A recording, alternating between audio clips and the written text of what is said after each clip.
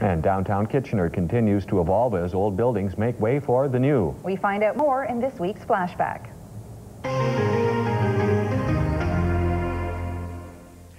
Nine years ago, auctioneers took over the Epton building at the corner of King and Victoria in Kitchener.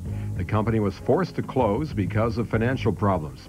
Floor by floor, everything from computers, desks, and chairs to big machines went to the highest bidder. A sad day for the few remaining Epton workers who also turned up to watch so many memories being sold. Two years later, what remained of the structure was demolished and the land donated to the city for future public use. The city is now working with the University of Waterloo on plans to bring a school of pharmacy to the site.